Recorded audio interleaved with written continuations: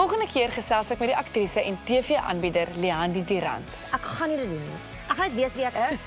Ons verras haar met 'n boesemvriendin wat vir haar soos familie is. Nee.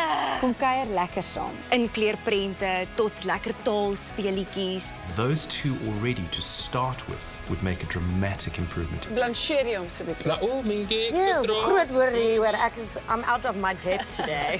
trots geborg deur Skenwinio. Wat ons kan help is mindfulness. Hmm.